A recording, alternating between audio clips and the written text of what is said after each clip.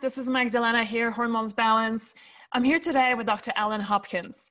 Um, super excited to be able to bring to you a way to order labs, urine as well as blood, um, you know, on your own without having to negotiate, argue, and beg a doctor for ordering these labs, which so many of you are asking us every day what should I order? How should I order? And so, you know, this took me a while to figure this part out because I couldn't do it on my own. But then there are obviously uh, people in the, you know, that, that, are, that are creating these opportunities for us. And so today, what I'm, we're going to be discussing with Dr. Allen is um, how do you, what are the markers that are really important in hormonal balance? I think that's the first thing we're going to be looking at how do they because it's not just hormones what you're going to discover today is not just hormones that we want to measure we also want to measure a lot of other imbalances that are happening in the body that actually cause hormonal imbalances. Many of you have asked us about dutch. That's one of my favorite urine testing uh, panel. And so that we're going to be talking about that as well because we've we found a way to actually order the labs from them uh, directly through dr allen and his company. So hi there. Are you on the other side. yeah. Hey, super excited and really excited to be here to talk to your community about direct access lab testing and uh, and this particular resource. Um, and I, I I think it's awesome, and I'm super excited to get started. I did prepare a PowerPoint for you guys that uh, that I'll be happy to share as well. Awesome. So before we um, transition over to the slides showing you what to order, what does the, the different markers mean, which I think is a wonderful also educational piece. Um, towards the end, we're going to be talking about what the, the different panels that we created for the hormones balance community. So there's going to be three options, and um, two, um, what, two of them include Dutch as well. And um, you know, also the good news is that if you are a health coach and you work with um, clients, and you you might find this presentation incredibly um, powerful as well and super helpful. In fact, uh, Dr. Allen, I think a lot of your clients right now are health coaches, right? Because it really empowers them on how do you work with patients or with clients and how do you help them through their nutritional deficiencies and imbalances. Yeah. Yeah, absolutely. I mean, we've made a business decision to work closely with health coaches to try to provide them value in their own practice. And, uh, you know, health coaches are typically those people who have had some issues in their life or they're just optimizers where they just want to be as healthy as possible and they're yearning for education. So it's not only direct access lab testing, it's, you know, what do these tests mean? What are, are, what are considered normal values? And then what are the optimal values that maybe functional medicine doctors or anti-aging doctors would want to see you at? And so I do want to talk a little bit about the differences. Uh, but yes, in general, you know, health coaches are fantastic people to work with and, uh, and a lot of health coaches love this platform. Yeah. Okay. Awesome. So um, I think we are ready for the slides. Okay, all right. Well, cool. Let's see if I can't share them. All right, so can everybody see those okay? All right, so I want to talk about uh, using biomarkers to prevent premature aging and uh, how it's relevant to hormones. And Magdalena, can you see the PowerPoint? I can, but I think you need to uh, project it as a presentation. Okay, let me just start it from, how about there? Is that better? Perfect. Okay, perfect. So before I start, though, I want to tell you a little bit about myself so you know who's talking to you. Um, so I currently work uh, as a as a professor at the University of Texas at Austin in the Dell Medical School, a fairly new medical school, by the way. Uh, I am a medical doctor with an MD degree uh, from one of the blue zones. If you ever heard about the the five blue zones in the world, Loma Linda is actually a blue zone. It's where they have more people who live longer than hundred years uh, in the world. And so uh, from that, I sort of learned a lot. And what I loved about Loma Linda is it was a very whole person approach to healthcare. In other words, it wasn't John with colon cancer uh, in room 18. It was, hey, you know, here's John. He's married. He has three kids. You know, he works as a computer analyst. And unfortunately, he's been given the diagnosis of colon cancer. And how can we best help him?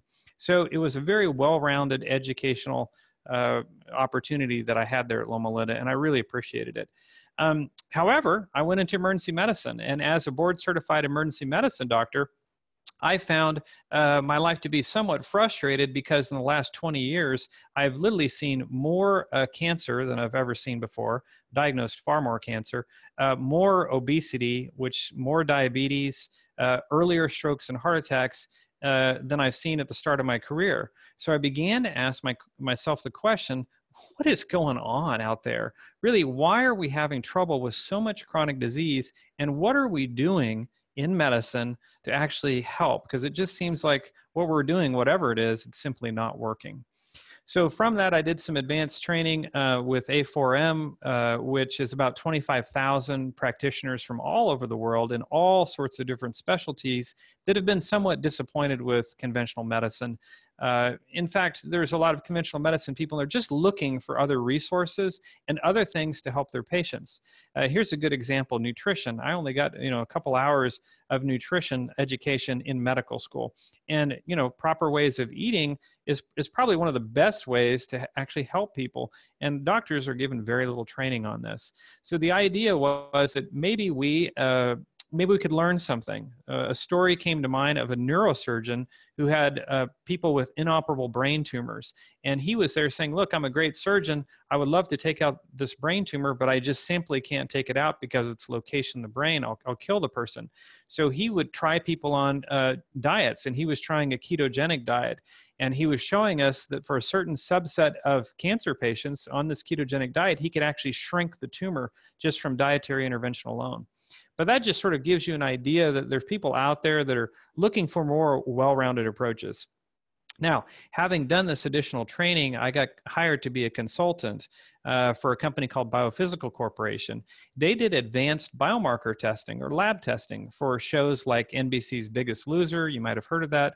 Uh, they did the Oprah show, and Oprah Winfrey herself went through our biophysical uh, lab protocols. And so I had a great opportunity to really learn a lot in a much deeper way about advanced biomarker testing. Uh, from that, I became a medical director uh, for an, a PhDX, which is an advanced diagnostic company here in, in Austin. And I ultimately uh, formed my own company for consumers. And it's, it's a direct access lab testing company for the public called yourlabwork.com. And, uh, and I did that because I had uh, people who uh, had tremendous increases in their deductibles. They were forced to uh, pay cash for things.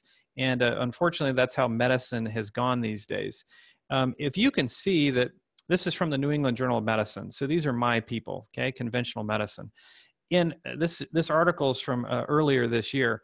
It was written by two doctors that are arguing, uh, arguing uh, about trying to do away with the annual physical. They think it's a waste of money. They think preventative lab testing is a huge waste of money, and uh, and they're trying to encourage us to just get rid of it. Well, I don't know if you're like me, but when I grew up and you know up into my early adult years, that time during the annual physical was a time to really get to know my provider, to form a relationship, for them to get to know my family and my concerns, not only about my health, but maybe what was going on with my job and my stress my sleeping patterns, these kind of things that are so important in health. And it was also a time for them to run preventative medicine labs and then to do interventions or screening tests. And so the whole idea here is that they're they're they're really doing away with this. Doctors these days have very limited time. They have just a few minutes with people and they're looking for disease. So they're making a diagnosis, they're writing a prescription and they're sending you out the door. A lot of times people feel like they've been shortchanged in their office visit for this and there's been tremendous frustration. So nowadays, people are taking matters into their own hands, and they're wanting to know more and learn more. And fortunately, with the uh, with all the online information, there's plenty of information for people to research. As a company, we wanted to be a company that was able to provide solid uh, research-led um, education to people. And so we put together some objectives that we wanted to talk about today um, we want to talk about some basic fundamentals you need to know about direct access lab testing. We also want to talk about the basics on hormones and how to get proper testing done um, because hormones are so important. But like you know, like you alluded to at the very beginning of this, you know, without proper nutrients, uh, we have improper metabolism, and we can have trouble actually making hormones. We also want to talk about thyroid testing and the different ways that it's done. I'm going to show you a couple of examples. And then I'm going to also show you the latest uh, in technology to evaluate cholesterol, which I think is really interesting. And then finally, we're going to talk about a lot about inflammation. This is the really up and coming thing. Uh, people are really learning that inflammation is, is at the root of most chronic diseases. Um, so there's huge impact there. And then finally, you know, we're going to talk about how insulin can really impact weight loss and, and can really predict future disease. And it's important for you to know uh, if you're at risk. And then finally, we have the special offer for this community, this hormones balance community, um, that we're going to present to you for your consideration. All right, so I want to talk about aging well. And we're going to talk a lot about hormones, but hormones are just one piece of the overall pie when it comes to health. So this is an aging well circle, and I want to just point out in, in the middle of the circle are the non-modifiable risk factors. We haven't figured out a way to actually stop chronological age. People are just getting older. They're born a certain gender, they're given a certain genetics, and they're of a certain race. And these are the things that are considered to be non-modifiable. Outside of this circle, however, are all the things that can be fixed, if you will. And many of you are familiar with uh, the top one there, the vascular integrity. That one there um, has to do with cholesterol. Now, I can tell you as a doctor that in, in the 1970s, you know, we were very convinced that cholesterol was killing people and that we had to do everything we could to get rid of cholesterol from, from dietary uh, intake. And so the big fads of non fat and low fat and so on all originated from that. Unfortunately, everything there got replaced with sugar.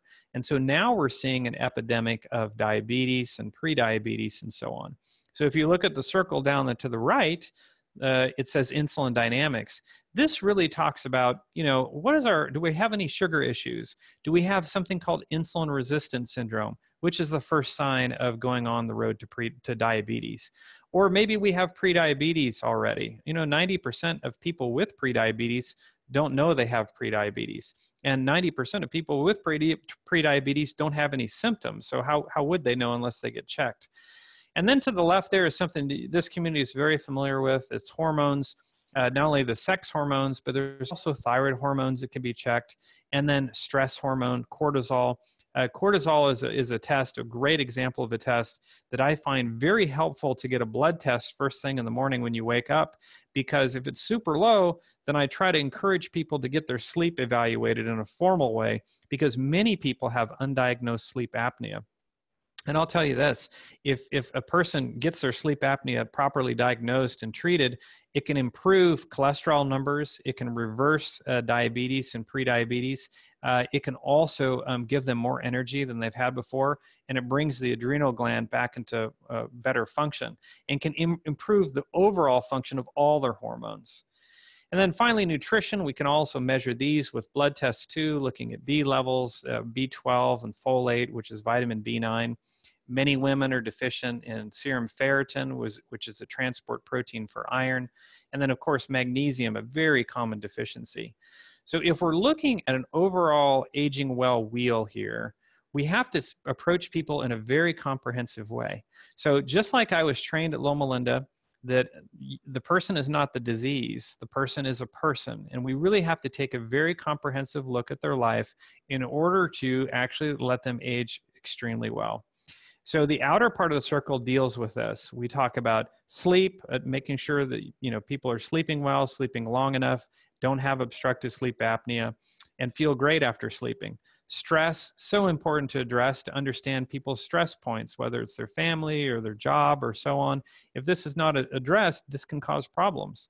Smoking of course is pretty obvious nowadays but smoking increases your risk by threefold for stroke and heart attack so it needs to be stopped allergies this is something to keep people awake at night and interfere with sleep so that needs to be addressed as well. Nutrition this one's probably the most obvious.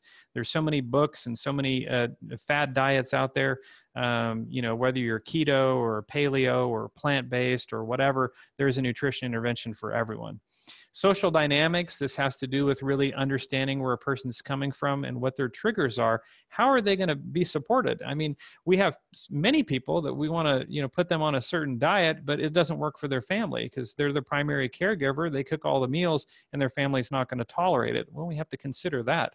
And then of course if you're if you're overweight many people want to lose weight and the side effect of properly understanding your lab test are oftentimes the side effect is weight loss physical activity of course the more you use your body the longer you're going to you're, you're going to live uh, and be active. And then if you ignore all this stuff to the right is everything that i see more of in the last 20 years in the er earlier strokes and heart attacks blood pressure problems uh, cancers autoimmune disease leaky gut and so on. So you can see that uh, if properly screened for and addressed a person can truly age well now, I want to talk a little bit about hormones um, and proper testing. There's various ways, and many of you are familiar with this, of measuring hormones. We can do blood testing. We can test hormones in the urine, such as the Dutch test, uh, or we can do swab test or salivary testing for, for hormones. Um, my personal opinion are that there are some ways that are preferred. So I uh, really like to check insulin with a blood test. I like to check thyroid hormones with a blood test. And also, I don't know if you know this or not, but your fat actually is the largest endocrine organ in your body. Your belly fat, also called visceral fat, makes either hormones that are pro inflammatory, leading to inflammation, or they make hormones that are protective for you, anti inflammatory hormones. And these can be measured through blood tests. You know, female hormones, these can be measured through blood tests and also urine tests. Um, the Dutch complete testing is uh, something we just started offering.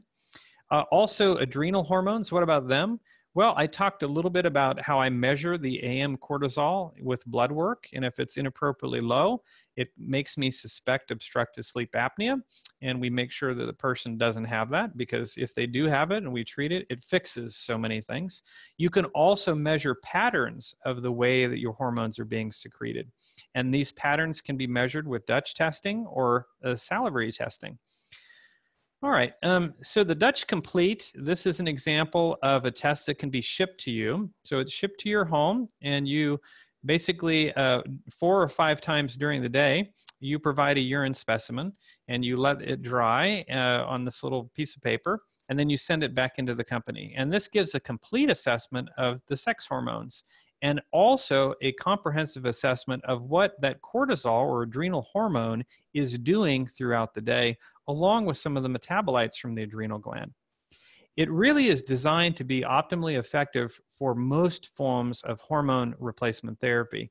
So it is a test that it's very comprehensive uh, and it's a fantastic uh, snapshot of where your hormones are at. And by the way, it can also measure some neurotransmitter metabolites, things that work with your brain. So, um, sorry, can we just go back to the previous sure. slide? I just want to mention, because not everybody knows the sex hormones will include things like DHEA, testosterone, progesterone, estrogen. Um, I don't think they measure pregnenolone. Um, they don't, um, unless it's something new. Uh, as you said, also, uh, the adrenal hormones will be cortisol here. So I just want to make sure that everybody understands it's a very comprehensive um, uh, panel. But also, what I like about Dutch is the fact that they really look into metabolites, which is how the hormones get broken down. And there's various aspects, including nutritional deficiencies, including stress, including inflammation, that can impact how um, uh, the hormones are broken down. And you know, a good example is estrogen. Um, you know, Dr. Allen, one of the things that has kind of been um, a, a, a, struggle for a, you know an ongoing education on my part is that women are so afraid of estrogen mm. because of estrogen dominance right? But mm. yet we wouldn't function as women. We wouldn't have boobs periods you know juicy vaginas without it right? And strong bones. Uh, yet it's the question is how we break down those estrogens and that's exactly what that shows and that's why um, i am a big fan of this test of this panel Yeah, I, I, absolutely agree with all that. You know, um, there's about 400 protective effects of estrogen in the body, and you know, without estrogen, we start to have a lot of problems. And we certainly are, we're going to talk about uh, some of those things. It may not be obvious to you guys that will happen. You know, if you don't have the proper amount of estrogen. So Dutch, what I like about it uh, in assessing it is it gives so uh, much data, and of course, doctors love data. Uh, patients, if they understand, if they understand it, really love data too and really this is what lab testing is all about is, is it's giving us our own individual data that we can then act on.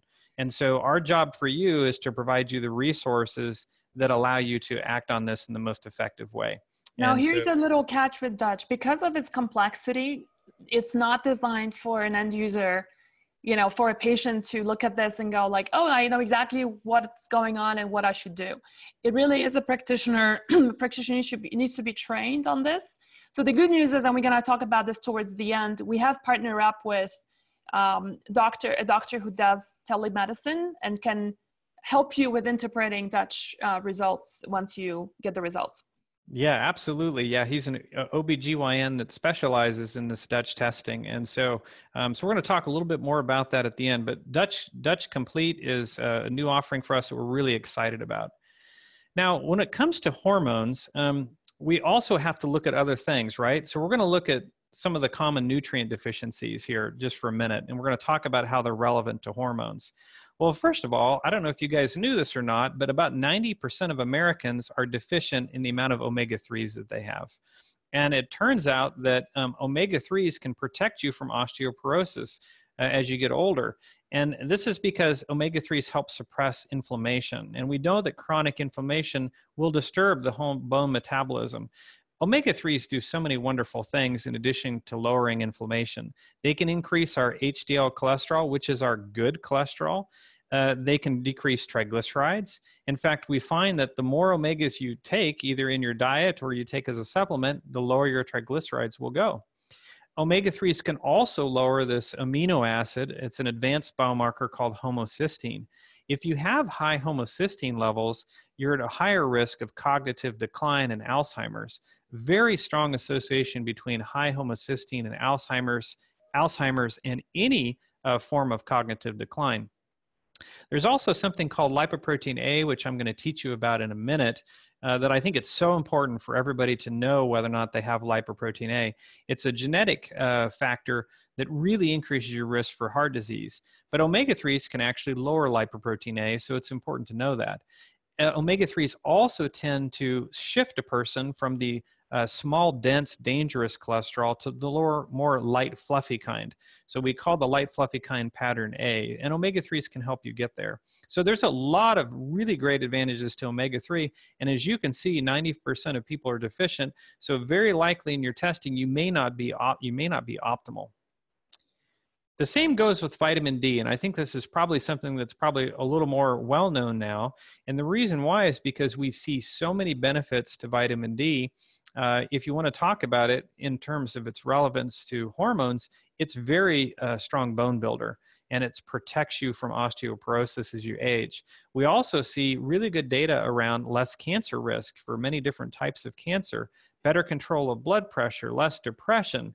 It can increase your HDL cholesterol, and we think that it helps uh, insulin actually work better, make it more efficient um, we're giving it to people who have seizures and we're finding that if we if they're at higher levels of vitamin d they tend to have less uh, seizure problems. Same thing if they have psychiatric disorders. If they have a psychiatric disorder and we optimize their vitamin d we see less in their their breakthrough psychiatric issues. So it is really important vitamin d. It's more of a hormone than it is a vitamin.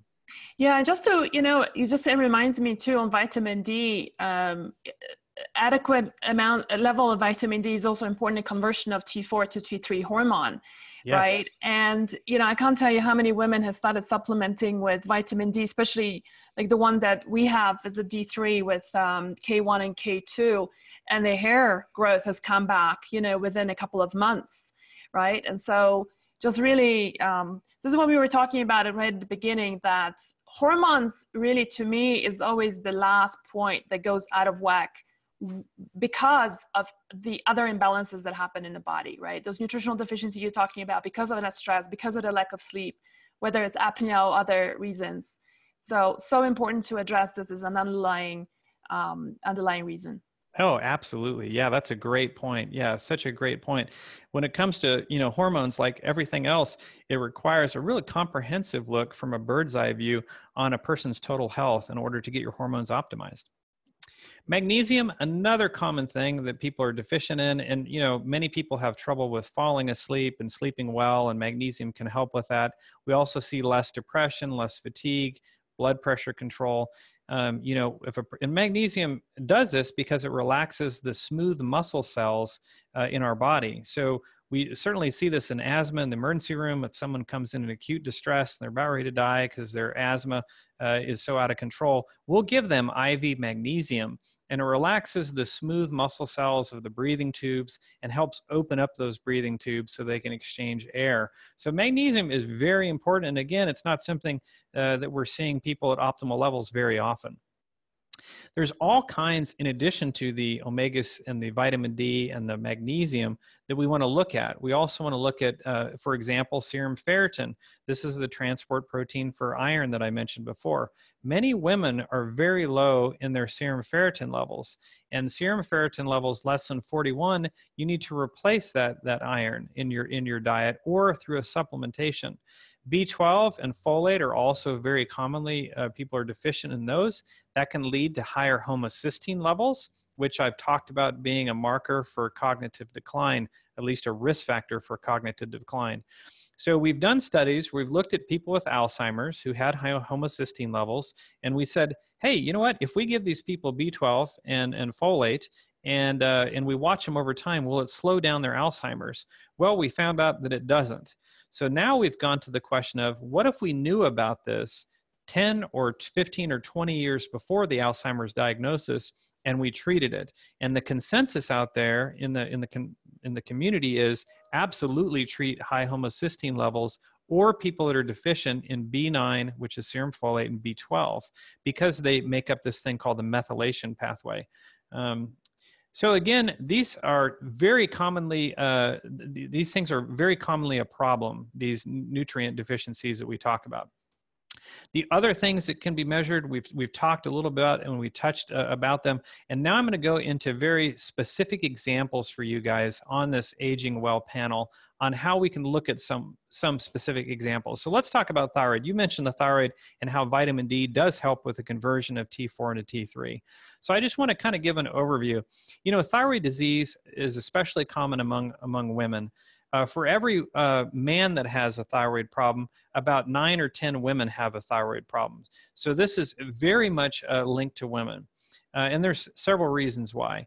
But if if if you're a woman and you you haven't had your thyroid checked in the proper way, uh, my argument is that you should get it checked in the proper way, and you should get a fairly complete thyroid assessment. Your brain produces something called TSH or thyroid stimulating hormone, and it tells your thyroid, which is a butterfly-shaped gland in your neck, to produce these thyroid hormones. They're T4 and T3. T4 is inactive. 80% of what your thyroid makes is inactive thyroid hormone. So you may say, well, why is my thyroid making mainly inactive hormone? Why wouldn't it make active hormone? Well, this is the body's flexibility. When you do this, it allows your body to convert T4 into the active hormone, which is T3, whenever it needs it. If it doesn't need it, then it will store it as reverse T3. So it's sort of the master regulator gland, the thyroid. We produce stuff that we don't that we don't use until we need it. And then about 20% of what the thyroid produces is the active thyroid hormone. So we always have this basal amount of thyroid circulating around our body. And when this goes awry, it can literally screw up every cell in your body. And uh, this is one of the more undiagnosed conditions we have. So here's an example who somebody who came to our direct access platform, and I'm just going to tell you their story, and maybe you can relate to it.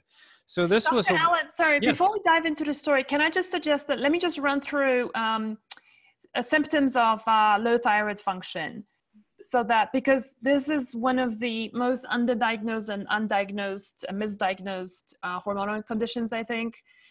right? We yeah, for sure. So many of us. So, so just sure, to quickly, sure. because uh, you know we get a lot of pushbacks uh, from women saying, you know, like for example, somebody posts saying my hair is falling out, and then we ask them, have you had your thyroid checked? And they'll say, yeah, my doc checked, and everything is fine. And so I'm really glad that you're showing uh, what to test for in a thyroid, but I just want to remind our listeners that labs are labs, um, and especially having a complete um, lab test is really important. But you're also going to couple that up with uh, clear symptoms, right? So, oh, absolutely. Yeah. So you're so, talking. So yeah. yeah, did you want to just run through the list of like typical symptoms for a low thyroid patient because that's the most common one? Yeah, absolutely. Yeah, so I would say definitely uh, hair falling out is a big. It's a big complaint. Uh, one of the bigger complaints we we tend to get is weight gain. Mm-hmm. Uh, although you can have a massive thyroid problem and not gain weight, um, but but that weight gain is, yeah, weight gain is a big one. And then we also have um, of depression, a huge, a huge thing. In fact, it makes me so upset when I see people put on antidepressants and they've never had their thyroid checked properly. Yeah. And we ultimately find out they have thyroid disease.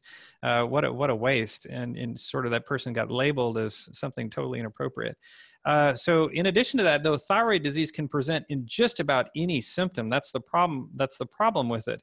But in general, we see the lack of energy, which which leads to you know uh, people uh, sometimes getting depressed from not having the same amount of energy a lot of hair changes nail changes coarse skin constipation intolerance uh, of cold all these things can be signs of thyroid disease. Yeah i would just um, add on to this also infertility. Um, women who have infertility issues unfortunately it's just it's so devastating. So many women lose their babies um, in the first three months right in the first trimester and uh, without realizing that it's a thyroid problem and never had that t- tested.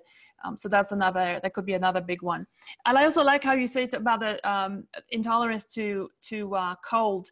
Um, you know, a typical thyroid patient will be that person walking around in a sweater in summer and always having cold hands and feet, while everybody else is complaining how hot it is, right? like, yeah, yeah, absolutely. Because that's your um, it's your heat moderator, right? So like your pedal, it's your speed pedal in every way. Brain fog, I would also add on to this because mm, that's yes. something that I suffered from tremendously. Uh, having anxiety attacks. Yep. Um, that was that was also one of the things that I had. So yeah.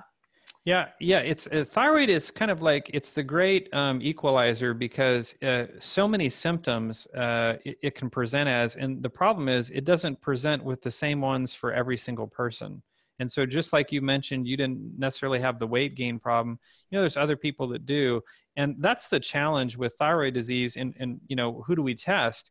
Well, I mean, if you're a woman, you're at very high risk, and you should be checked. And I, I mean, I've gotten to the point now where I feel like a woman should monitor this every single year.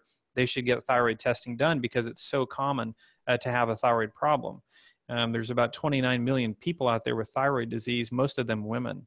So if you're a woman and you haven't had your thyroid checked, it really should be checked.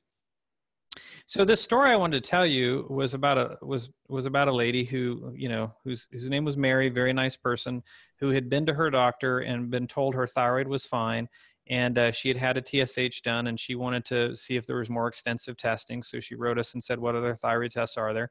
And we told her, "Hey, this is a panel. This is how much it costs." And she's like, "Oh, I want it." So when it came back, I found it curious because I noticed here that suddenly she has a diagnosis. Now, if you're a health coach out there or a non, you know, a provider, you really shouldn't, you know, ha- you know, diagnose yourself. But if you just sort of look this stuff up and you have the proper education, then you know the question to ask that provider is you say, "Do I have Hashimoto's thyroid disease?" Because these thyroid peroxidase antibodies are positive, and you can see that her her free T3 and her T4 are at the lower end of normal but here's somebody who had symptoms, who went to her doctor, who did a TSH, who, by the way, it was four at the time. But that's all they did. They just looked at the TSH. Upon a more complete evaluation, there actually is a diagnosis here that needs to be acted on. And this person here, um, you know, ended up going back to another doctor to get to get care. But the idea here is that the information was out there. She was concerned. She had the resource. She ordered the test herself and that um, gave her the information she needed to go to somebody to get help and that's really what direct access testing is for it's for people to take on some of this information themselves and to act on it Um, some of the other things that we look at with advanced testing, getting back to your aging wheel here, is we're going to look at cholesterol. Um, and I want to show you the difference really quick because I'm an ER doctor. Um, so uh, 50%, that's five zero. So 50% uh, of people who come in with a heart attack are at their cholesterol goals. So if they had a standard lipid panel, which just looks at cholesterol and, and, triglycerides and HDL, and then does a calculation on the LDL, which is the lousy cholesterol, 50% of the people I see with heart attacks are, are okay. So what is going on? What are we missing here? Why are they getting heart disease? Well, you know, it's a combination of things, but one of the latest tests that's come out fairly recently has been this idea that it's not just about cholesterol, it's about the type of cholesterol that you have. And more importantly than that, we understand that you can get subtypes of cholesterol. So if you go with me for a minute on this kind of busy slide. So at the bottom, we're looking at the diameter, in other words, how big these molecules are. And then on the y-axis or to the left is the density. So that that's to the point of you know uh, uh, how uh, how much material do they have packed inside? Is it is it super dense or is it more light and fluffy? Light and fluffy cholesterol markers are less uh, problem problematic for us. And so if we have bad cholesterol, which is LDL cholesterol, we call it lousy cholesterol. If our lousy cholesterol molecules are light and fluffy, we tend to get less heart attacks. We, we just do. However, if we have small and dense uh, cholesterol, uh, we tend to have the worst problems. And then there's a percentage of us, about 20% of us here in America, that have this genetically modified LDL cholesterol molecule called LP little a or lipoprotein A. This is the smallest and most dense and most dangerous cholesterol marker that you have. If you've ever seen anybody who's really healthy, maybe you had a friend or a neighbor who maybe she went running and she had a heart attack and you're like wow she was only 50 and she looked like she was in great shape. That person may have had lipoprotein a.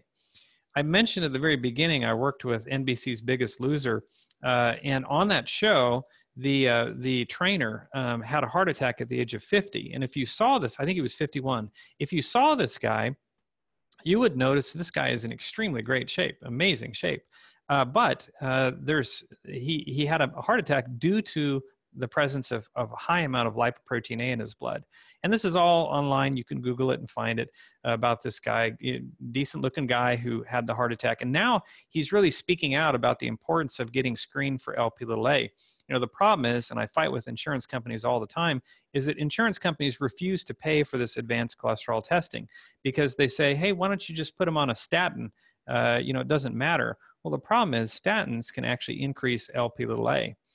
Um, LP little a, I'm going to skip this for a second. Just Can I ask you a quick question on this? Is it yeah. genetic?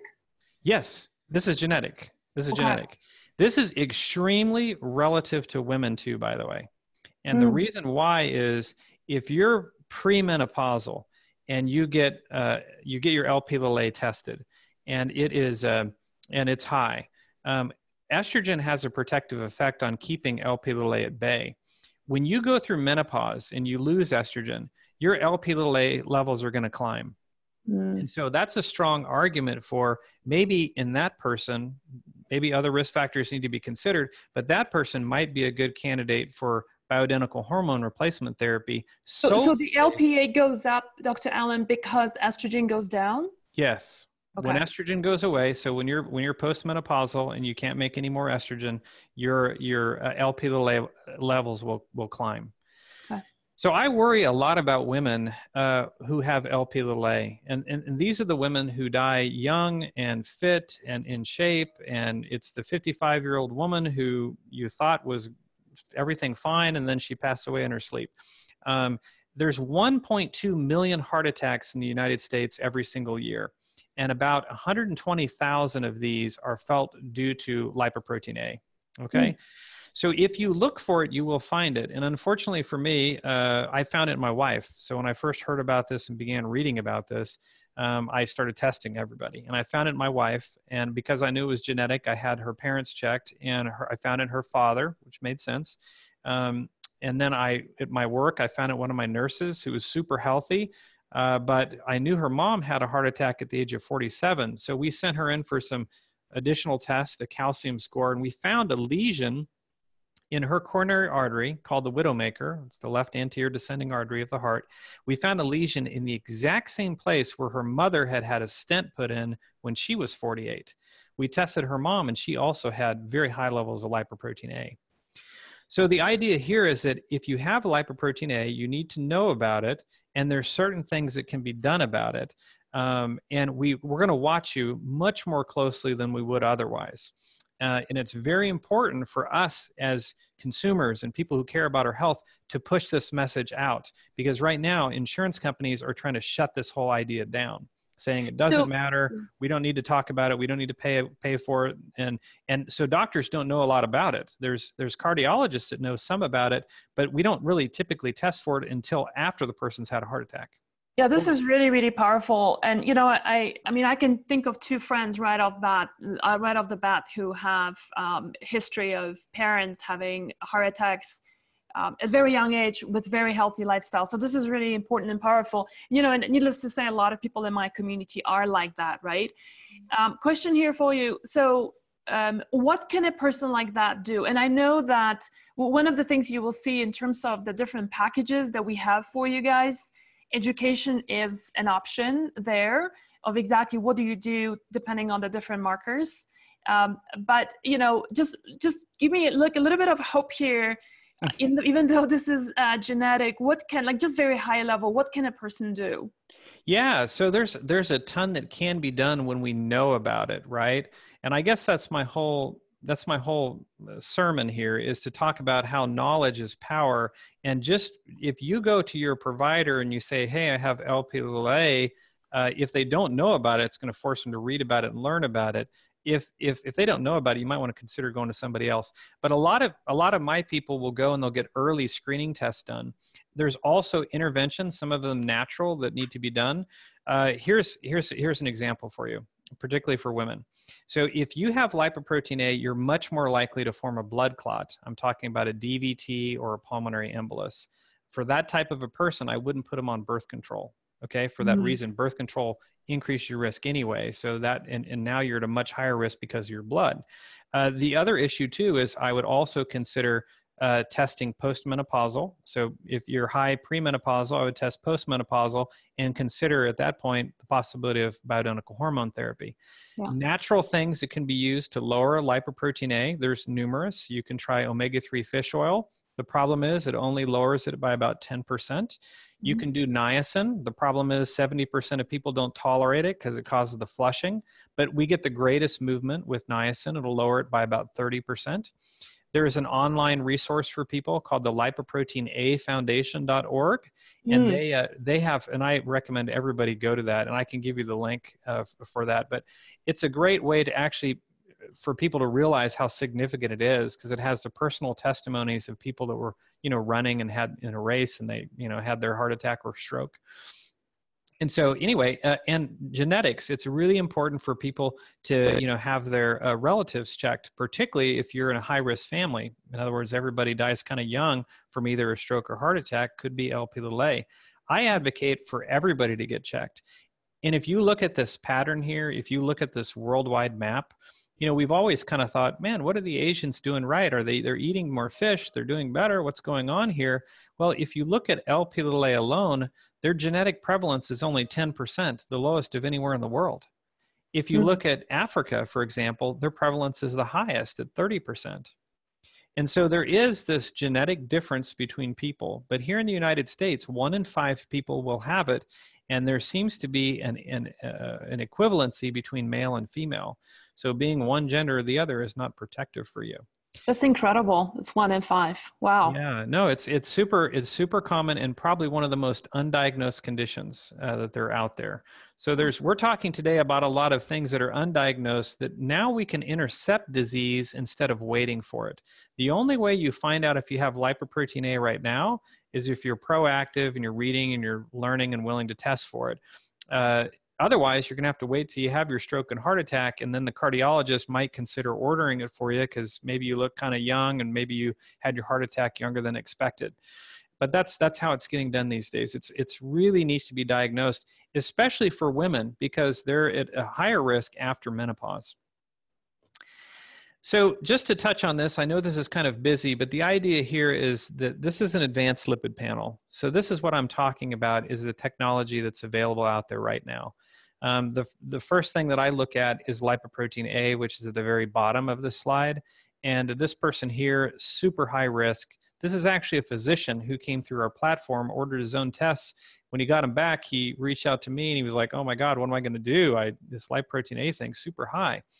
So, um, so if you notice, lipoprotein A is part of the piece of the puzzle. The other is we want to know if he has high, uh, small, dense markers. Remember, I showed you that graph of of what small, dense things did. If you look at this LDL molecules from small to large. You see Lp(a) is the smallest LDL molecule, right? So that's genetic. You either have it or you don't. If you get tested once and you're normal, you don't have to worry about that again. But the LDL size still matters. So if you're low size, smaller, denser, that's a person who's higher risk. So on his panel, when we look at it, we look at does he have a lot of LDL smalls? So he also is at very high risk. So my point is a fasting lipid panel it's okay, but it totally missed his biggest risk factors were the fact that of his bad cholesterol, he had the worst kind, and he also had genetically modified cholesterol that was the absolute worst kind. So Dr. Allen, I have a question for you trouble. on this one. Why is the HDL large a bad thing here?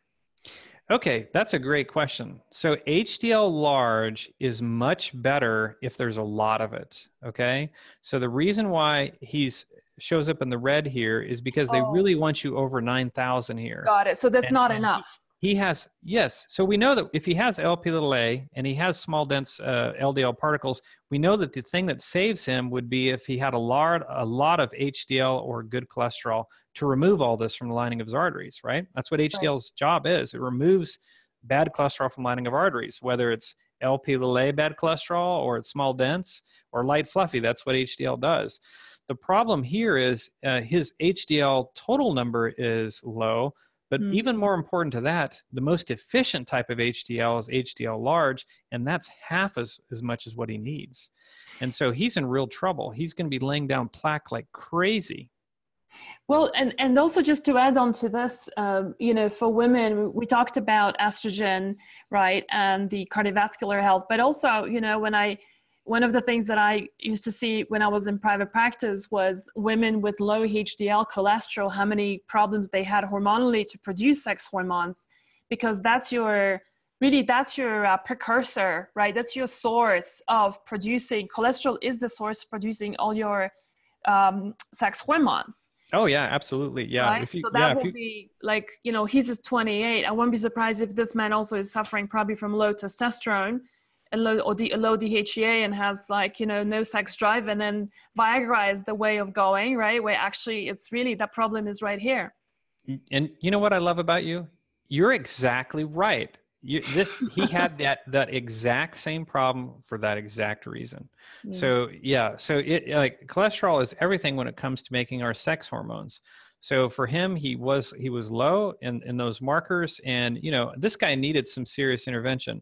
I guess my take home point is I'm not here to teach you every single biomarker right now, although I, I have an opportunity for you to do that if you're if you're interested. But what I'm here to tell you is that right now we're we're not checking the best tests to help people. We're checking tests that insurance companies say they'll pay for. We're not actually um, intervening early in disease processes. We're waiting for a disease to present itself. So there are advanced tests now that can be quite predictive of who's going to go on to develop problems. And that's what I wanted to focus on today because I think that you guys can can actually be part of a, a, great solution and help people help lots of people. Even if the only thing you do after this is you go and say hey i heard this weird thing about lipoprotein a and i went on google and i looked up the nbc's biggest loser trainer. I read the article about him having a heart attack at 51 and i looked at his photo and i just couldn't believe it. And now i'm going to talk to my friends about getting checked. Um, if you only did that you're going to help people and you potentially could save a person's life Because if a person has uh, LP little a that's elevated, these are some of the things that need to be done. They need a full laboratory assessment to make sure they don't have sugar problems. And I'm talking about prediabetes. We want to make sure they don't have inflammation because we want to try to reverse inflammation if they have chronic inflammation. We absolutely have to control blood pressure for them. We've got to get them to stop smoking if they're doing it. We've got to screen their relatives to see if they also have LP little a. And then we need to know that menopause is going to be a big, big problem for us because uh, when they go through it, their LP little a is going to go much higher. So we do worry about that. Um, now, I want to talk a little bit about the next uh, thing and, and, and uh, you know, sort of bring you along here on inflammation. Inflammation is one of the hottest topics right now in anti-aging medicine. And the reason why it's the hottest topic, it's, it's really felt that chronic inflammation is the root cause of many of the chronic diseases. And there's a lot of things that we're doing that's causing inflammation in our bodies. You know, if we eat too much sugar, what happens? Well, we store it in our liver as glycogen. When that compartment gets full, we store it in our muscles as glycogen. When that gets full, we store it in our belly fat. And when that belly fat gets full, um, it releases uh, pro inflammatory hormones. And these pro inflammatory hormones can actually put you at risk developing early stroke and heart attack. So, again, our belly fat is the largest endocrine system, our largest endocrine organ in our body, and it can produce hormones that are either helpful or harmful. And so, uh, if we measure this and we know I have helpful uh, hormones, that's great. If they're harmful, we've got to fix that, right? Um, trans fats, saturated fats can also be pro inflammatory. This also can happen when we are deficient with our omega 3s and we have an imbalance there. Um, we're not eating like we should. We're not eating whole foods anymore. Um, some people, things are triggering it in their system, such as dairy and gluten, coffee, and so on. And then, of course, stress is a big is a big thing. We're not sleeping like we're supposed to be, and sleep is so restorative, right? Twenty five percent of our life is spent sleeping, so it's so important that we do it well because that's Sleep is when we restore hormones and we bring everything back into alignment. If we don't exercise, that can be a source of inflammation, of course, toxins, infections, and so on. And in my practice, what I see a lot of is weight problems and this thing called insulin resistance syndrome. Insulin resistance syndrome is super common, and it just means that all these compartments are full, the cells are super unhealthy, and it's the first thing we see on the road to diabetes, so we like to test for it if you have inflammation, you just need to know, you know, you have a higher risk for stroke and heart attack, autoimmune disease, and even cancers. Um, when we measure this thing called high sensitivity CRP, if it's elevated chronically in very high levels, I send people in for cancer screening and sometimes we'll find cancer.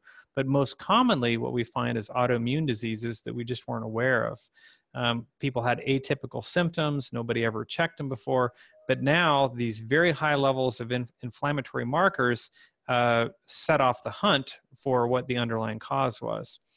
Another thing is that there's an increase in hot flashes uh, with inflammation, both in perimenopausal and menopausal women.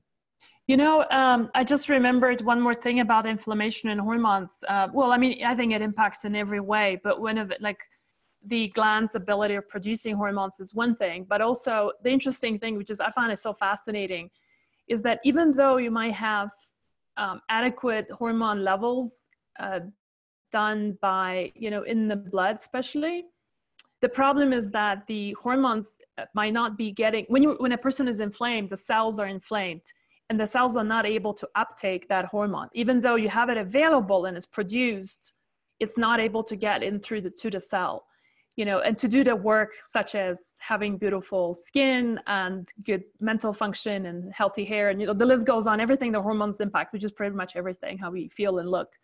So oh. that's another that's another reason to look into inflammation. And uh, needless to say, all the markers that we are talking about here are gonna be on the panels that we're gonna show you at the end that you you know we we will recommend testing for. Yeah. Yeah, that's a that's you know, the body is a very complex system, right? And unfortunately, it's not exactly so easy why a person's hormones may be messed up if they don't take a comprehensive look.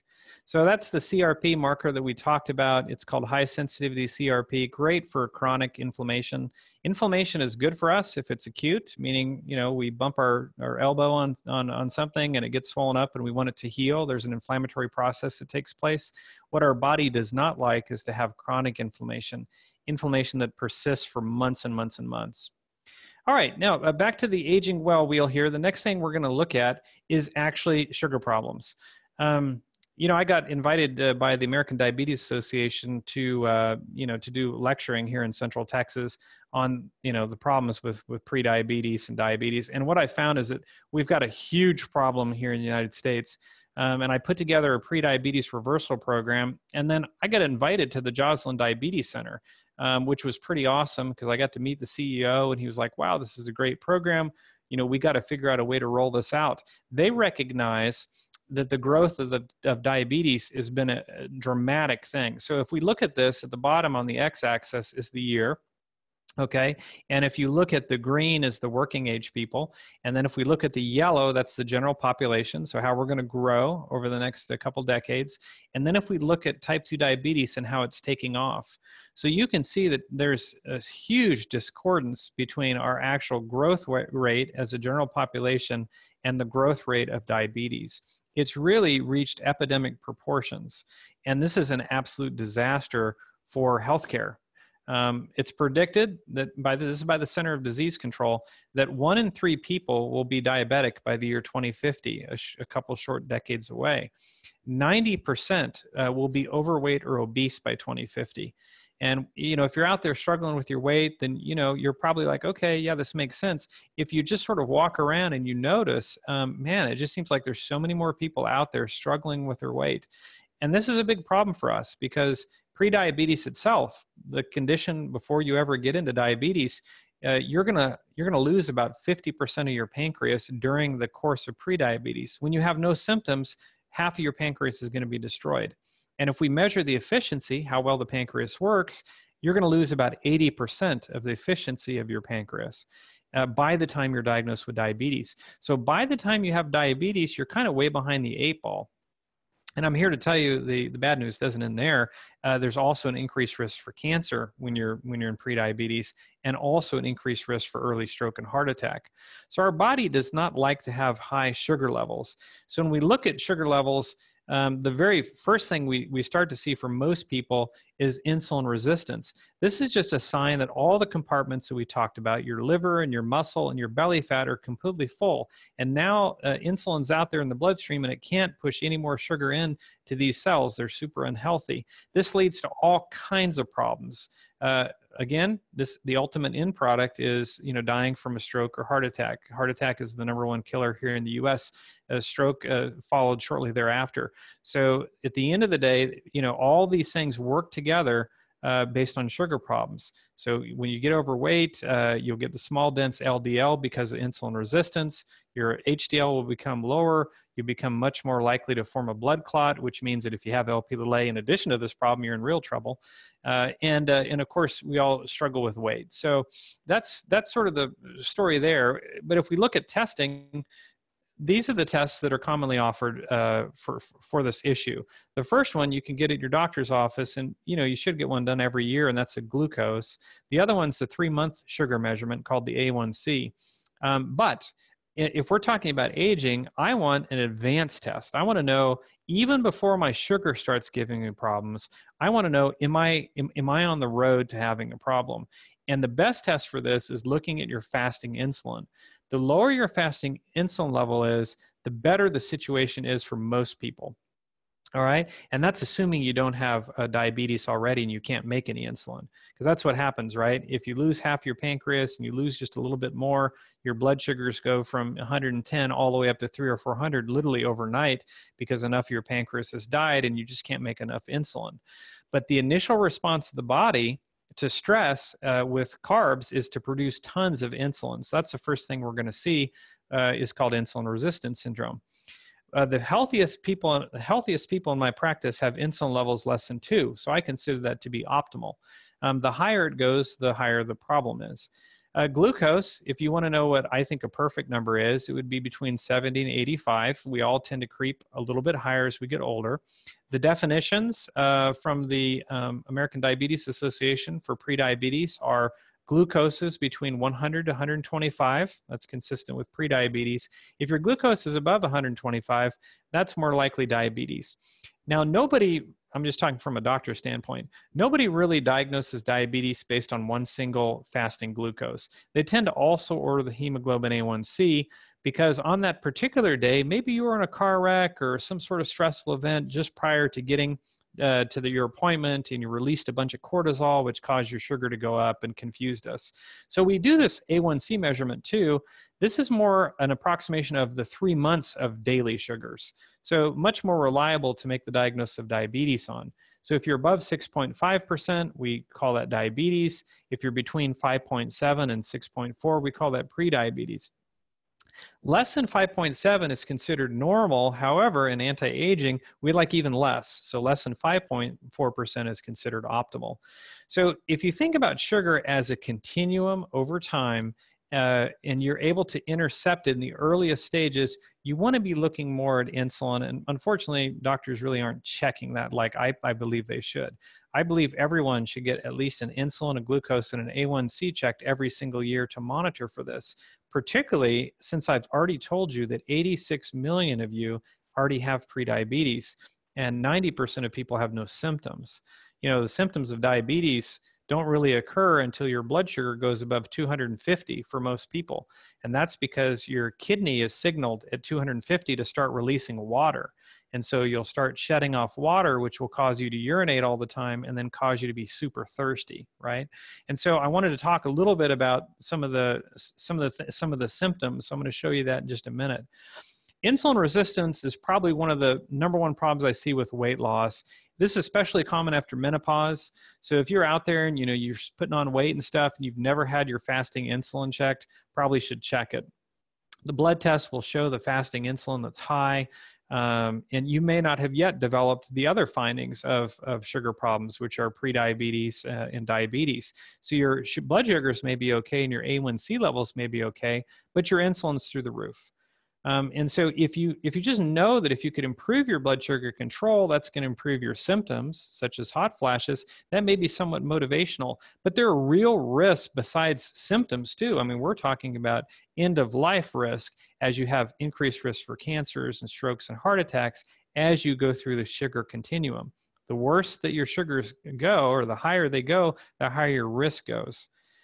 Also, insulin resistant syndrome is the number one cause of PCOS. So, if you have polycystic ovary syndrome, you have trouble with infertility, you're missing your periods, you're having acne, um, irritability, mood changes, those kind of things, um, you know, look at your fasting insulin. It, along with your androgens, your testosterone, and so on, will be uh, abnormal.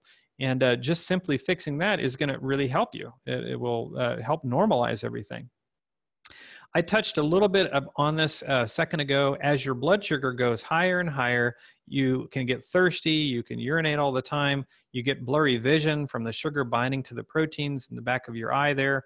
You can experience fatigue, uh, extreme fatigue. If your sugar's low, uh, you can have the opposite uh, things uh, like being anxious and shaky and sweaty, uh, moody and lack of focus. That can happen for some people when their blood sugars are low. Premenopausal women, um, I see a lot of PCOS or polycystic ovary syndrome, really high levels of fasting insulin, along with the acne and the irritability, uh, problems with fertility, those kind of things. And then, of course, the trouble with the weight loss is huge, whether you're premenopausal or postmenopausal, if you have really high insulin levels. Postmenopausal women tend to have increased hot flashes, increased belly fat, and uh, and that's not a good thing. Um, you know, you don't want to begin to look like grandma before it's time. And that's really what happens, right? As we go through menopause, we start to become like our grandma. We start looking like grandpa. Uh, grandma and grandpa look very similar at the age of 70. So my objective for you guys here is number one, education. Um, that's the opportunity that, that, that we have here that's a little bit different. Being able to order labs for yourself, you can get it done through lots of different platforms, but I encourage you to also get educated too. Um, and so we, we do have a special offer for you uh, through the Hormones Balance website for this community. If you want to order a single test or you want to take advantage of some of the packages that Magdalena's put together, you can use this coupon code called Hormones Balance to get $20 off. And then at this this point, um, I'll turn it over to you, Magdalena, to um, to kind of go through the different things that you you wanted us to put together for your community and talk about yeah. the what you see as the value. Yeah, let's do that. So, like um, like Dr. Allen mentioned, the URL is yourlabwork.com slash hormones balance, and um, we're gonna make the uh, URL available in um, all different places. So uh, just before I, I, show you the labs, just wanna uh, share that it's a really simple ordering process. You order them online with a link down below here.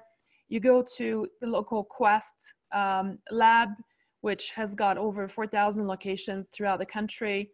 And then you get the uh, results online within 48 hours. Really as simple as that. Just absolutely wonderful. No no no need to see a doctor. No need to um, argue why you want to have those labs done.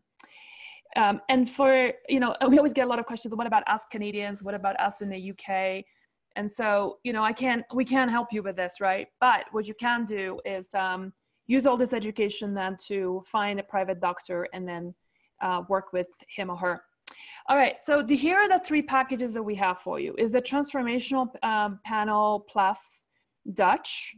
So the Transformational pa uh, Panel would have a lot of the markers Dr. Allen mentioned today. You can see there's all, everything from the Dutch is included here, uh, plus we've got the CRP, the homocysteine, uric acid, and the list goes on. I'm not gonna read through everything here. You can pause the video and just look at that uh, we have an option for you for, oh, before I mention that, so the, the package here is $1,699.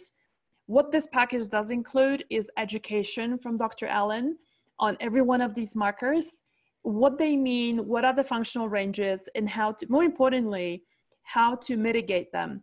The other smart thing they have done, which is I can completely appreciate that, are those, um, is that what you call it, cheat sheets? Yeah, yeah, absolutely. Cheat sheets. Yeah. Yeah. yeah I'll talk about those in a minute. But yeah, no, we, we have cheat sheets for patients try to, or for people to try to make it easy for them.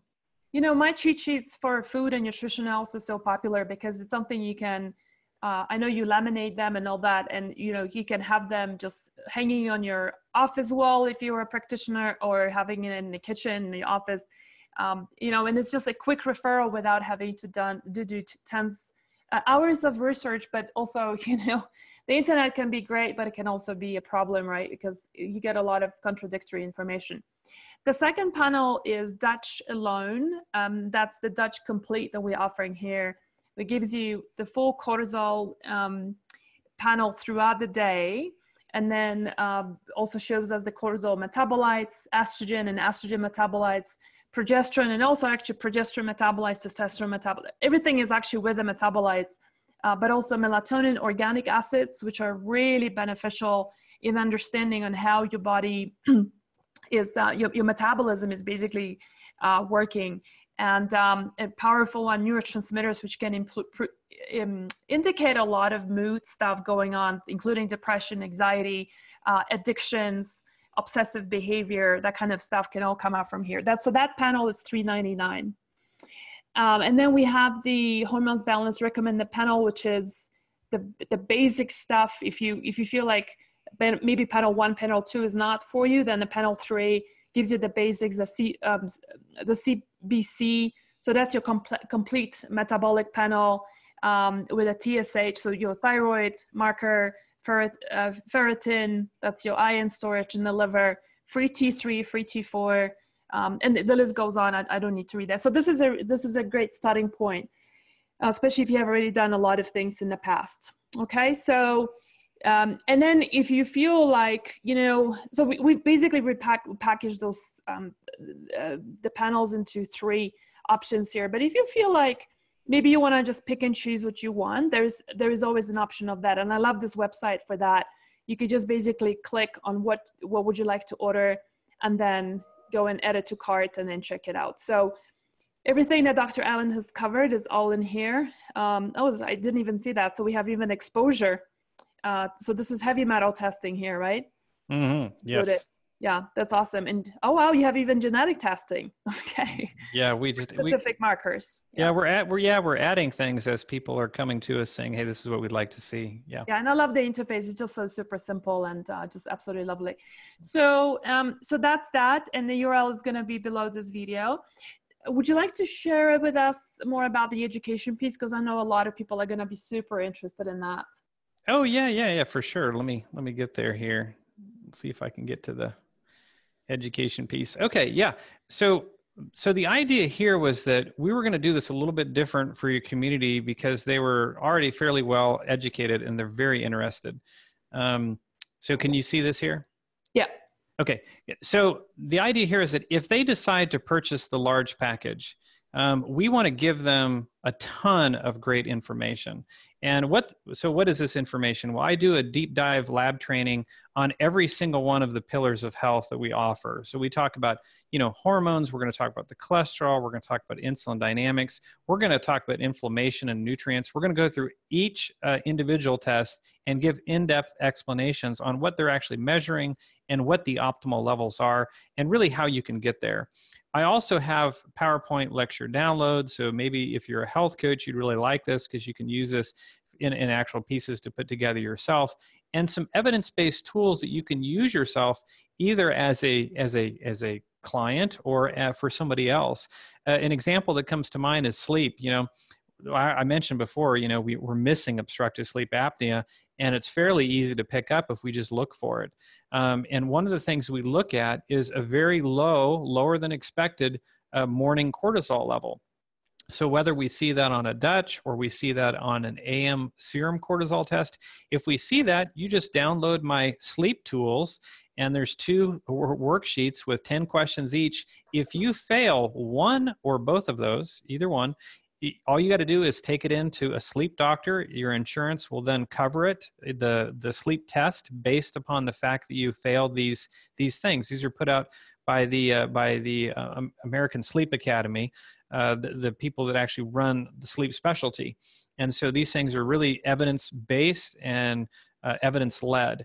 So if if they fail that, or if you fail that, you just take it in, you get the test done, and guess what? If it gets diagnosed and properly treated, all of a sudden we get the weight loss, we get the hormones working better, we get the cholesterol going down, and we also get um, we, we, can reverse prediabetes and sugar problems with that, uh, and give a person energy. So a lot of little tools in there that are are meant to really help people in a meaningful way.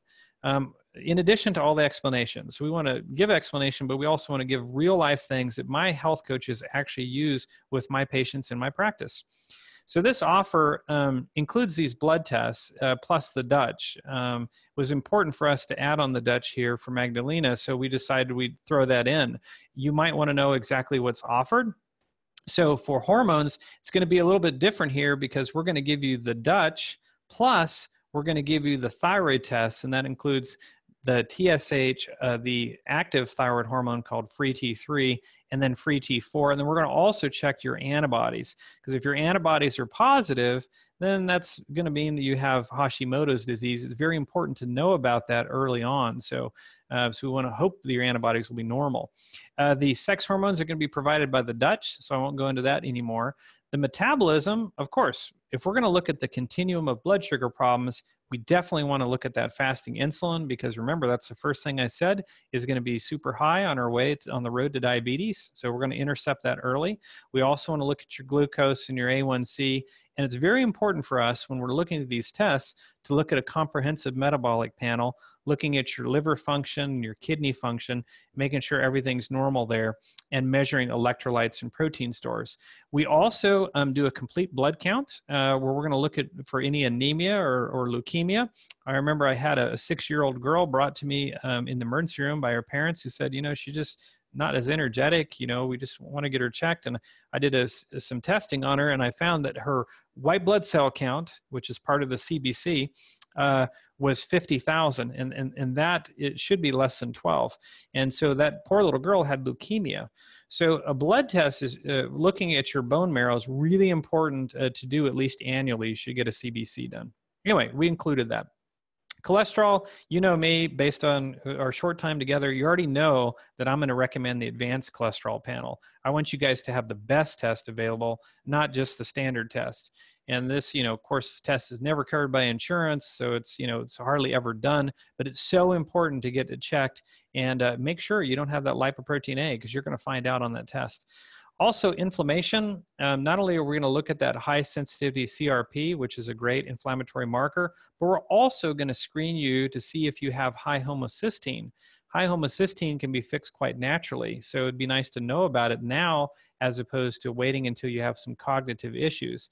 Again, we're not certain that treating it early is going to is going to be 100% protective, but everyone agrees and is on the same page that the, the treatment is natural and it's easy and it should be done. Also, we want to look at breakdown products of your muscle called CK just to make sure you're not over exercising or make sure that you don't have an autoimmune attack on your muscles.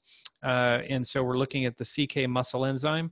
And then finally, uric acid. I love to check for this because there's such a strong association with high uric acid and uh, in prediabetes. And we know there's so many people out there with prediabetes the thing that I, I, learned the other day also is that uric acid levels can be quite high uh, if you're on a ketogenic diet. And so, if you have high levels of uric acid, it puts you at risk for developing gout. Gout is a disease that I see people in the ER for. They usually come in with severe pain in their joint, usually the base of their first toe or maybe their elbow or knee, and they just feel like cutting it off. So, I'd rather uh, to know if somebody's at risk for this and to be able to show you how you can lower this very naturally. So we have a downloadable sheet if you have high levels of uric acid for you to download yourself. Nutrients, we talked uh, at length about these nutrients, but I also threw in zinc and selenium. These are also very important nutrients uh, that we test, in addition to um, everything else that you can sort of read there. But the idea here is to do a very comprehensive approach uh, in your laboratory testing. Um, and I want to provide you with a way to look at these things too, so you can take all the questions to your provider with some really good information. And again, this is evidence led information. So I'm going to provide you with something called optimal value cheat sheets. So if you're ever wondering what it's like to see an anti-aging doctor, or maybe you see a functional medicine doctor, uh, one of the things that you'll you'll learn if you've seen a bunch of them is that everybody kind of has a little bit different way of doing things. Well, most of us agree on what uh, what optimal ranges are conventional doctors don't really understand optimal ranges because they're not really treating for optimal they're just treating disease. And so before i did all my training advanced training i just knew it is normal or not normal. Now i know this thing called optimal. So these cheats these cheat sheets were formulated to number one tell you what the biomarker was give you uh, give you a brief description of the biomarker what it's actually measuring and then in that gray kind of thing that you can see there that's the optimal levels where we would like to see you at at least in my practice. And then to the right is everything that you can do naturally to improve each biomarker and some of them, we have a lot of things you can do naturally. Others, there's just a few things that you can do. But these biomarker cheat sheets have become extremely popular because people love to look at their own lab work with these things next to it. And then they circle their issues where they're having uh, trouble. And then they, they, they work with their provider, whoever's helping them, to come up with an overall plan for their health. By looking at everything in a comprehensive way, we can now hone, in, hone down on your specific issues. All right. So if I'm going to do this for your group, I kind of thought it would be really good to do a group uh, live lab review webinar. So if we had enough people go and get this comprehensive testing done, uh, they would probably benefit from from me coming on and answering questions and going through an example of, of a comprehensive test and talking about each one of the biomarkers and what optimal is and how you get there. It just would reinforce that learning process in the brain and maybe uh, pick out a few things that people weren't thinking about we also thought it would be good for a question and answer session to do. Now, um, so when it comes to when it comes to Dutch, uh, Magdalena, we had talked about this. We do have a specialist. He's an OBGYN doctor that I work with who knows Dutch very, very well. And he also is willing to uh, willing to help us with this. I could probably go ahead and get him to come on this this live lab review too but I more importantly uh, want to give you guys access uh, to him via telemedicine. Um, and so, uh, so I'm working with him, and, and, we'll work with Magdalena, so that each one of you that has had the Dutch specialty testing done, which is a very comprehensive, uh, has the opportunity, if you want to, to have a private uh, telemedicine consultation with him. Yeah, that's so, so, that's so important. And I and I have worked and referred people to Dr. Sean Tassone for for a couple of years now. Um, and he is a um, not just very knowledgeable, but very empathetic and really, really sweet, you know, practitioner who women just absolutely love. This is great. Um, so yeah, so let's, uh, so the links are below. If you guys have any questions, as always, support at hormonesbalance.com is the, is the um, email to send in your questions. And if there's something we don't know, we'll definitely reach out to Dr. Allen and get things clarified. Um, is there anything else that you would like to add just to close this off? Yeah, you know, um, I just wanted to thank you for the opportunity, you know, to you know to be able to come to your group and talk about you know ways that we can help optimize people. Um, people sometimes do get confused, and I do want to make it just clear: is that you know I'm I'm not anybody's doctor. This actually isn't a medical practice. This is a non-medical practice. But as part of what we our mission is, our mission is to up level everyone's IQ on lab testing because we want that person to be able to go into their visit with their provider with a lot of really good information, stuff that's backed by by research, uh, natural ways, and uh, that maybe the conventional doctors aren't necessarily thinking about. Um, and force that doctor to actually sit down and go through each one of these questions based on real data, which is your mm-hmm. which is your lab work. So we're very passionate about that in adding that extra value add on. And if, if we can uh, add on Dr. Uh, Sean Tassone, Tassone to review the Dutch testing, that's an awesome, awesome thing for us to do. Yeah.